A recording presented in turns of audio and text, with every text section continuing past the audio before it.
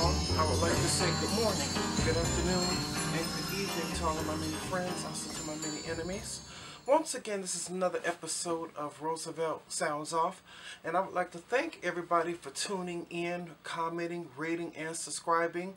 You are the ones who are helping to make it all happen, and it's greatly much appreciated from me to you. Okay, um, it's been a long time since I did um, a blog um, or a video. I think I did a video last um, week or so. Um, but this time I want to catch up also on some news that is going on. Um, for many of y'all who don't know, that you know we've had several problems with the police being called on black people for doing everyday ordinary things.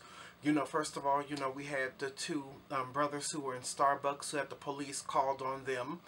And then we also had the police called on um, two guys, two black men for having a barbecue in a park in Oakland, California.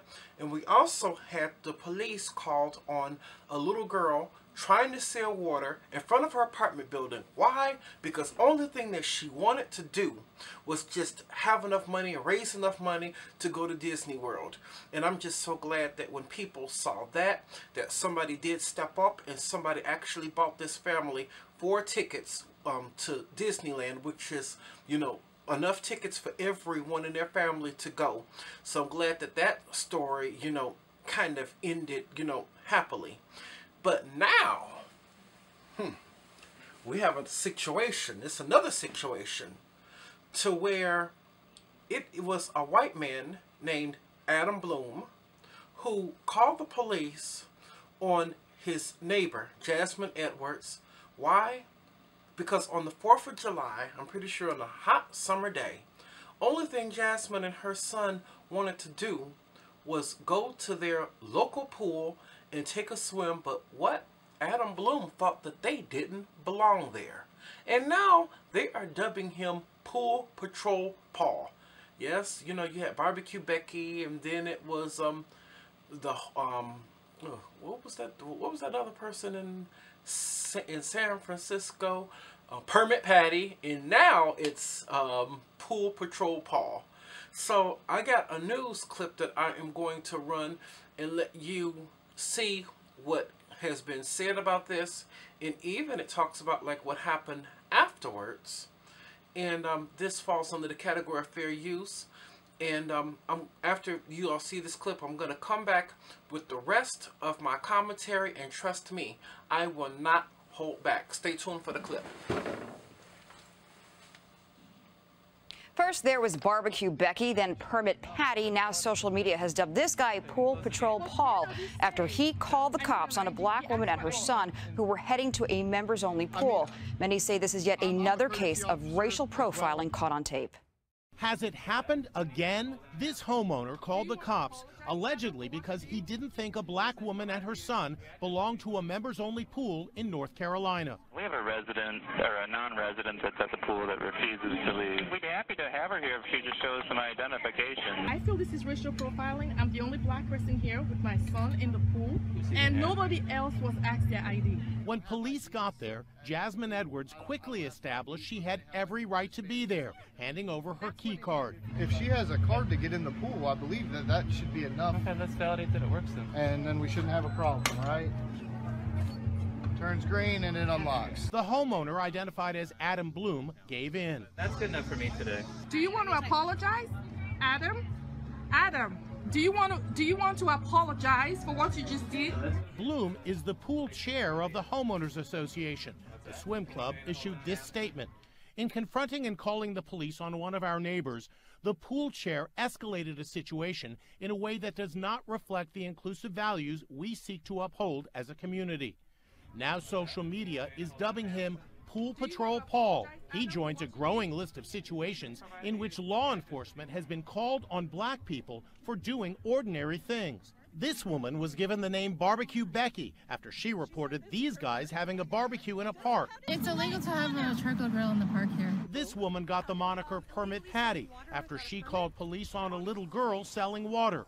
This woman don't want to let a little girl sell some water. She calling police on an eight-year-old little girl. You can hide all you want, The whole world gonna see you, boo. As for the man they're calling Pool Patrol Paul, his lawyer issued this statement. Mr. Bloom feels terrible for the pain this must have caused Ms. Edwards and her family. Mr. Bloom's intentions during this incident were to enforce the pool's rules uniformly, without preference or prejudice. I feel this is racial profiling. I'm the only black person. Police departments across the country are encouraging people who are having disagreements to try to talk through their problems before calling 911.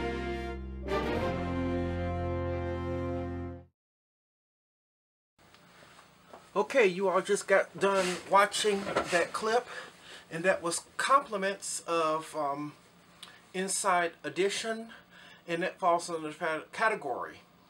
I almost said category, but category of fair use. Okay, okay, let's get more into deeper into this particular story.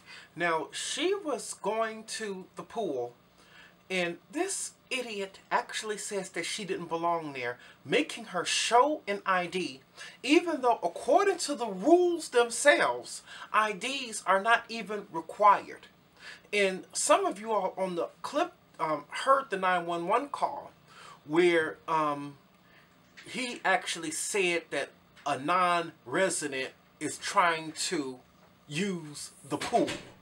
You know, in other words, making the whole situation sound a whole lot worse than what it had to be. Trying to dub this lady as a non-resident when she was a resident and had every single right to be there just like anybody else.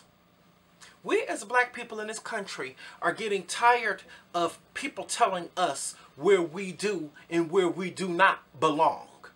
First of all, it is none of this man's business to get on the phone and call 911 against this woman because she just wanted to take a swim with her son.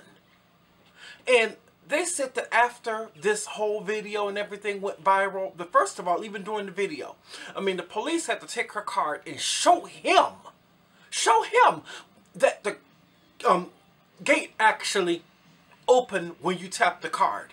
Why are the police cowering and bowing down to another citizen for all over something that shouldn't even be his concern? He needed to just stay out of that. He really did. Uh, so, I mean, now they are saying that, you know, he, you know, quit his home um, ownership association's position and he got fired from his job. And to his employer,